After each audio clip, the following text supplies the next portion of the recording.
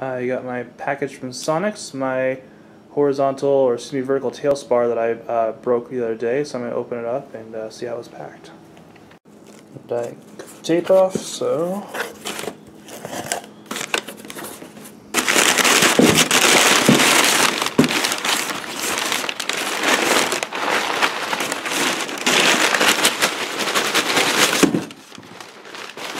there it is.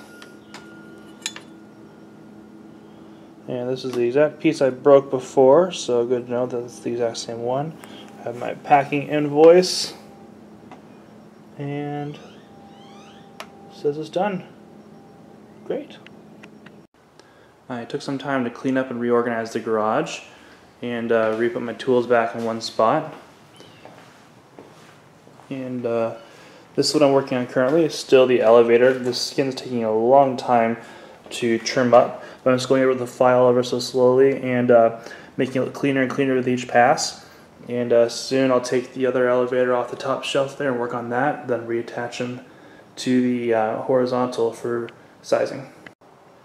I've been grinding at these things for a while now. I ended up putting a Dremel bit in my actual uh, drill and using that to, to grind and scrape down these sides so I can get it to a respectable area.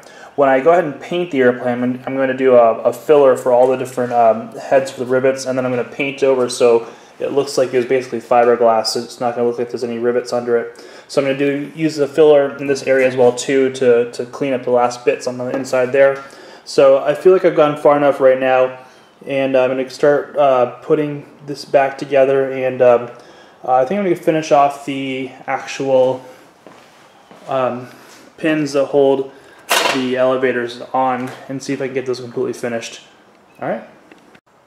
With the elevators done, I relooked at the plans and decided I should probably work on the tips next and uh, finish up the, um, uh, the control pins uh, later.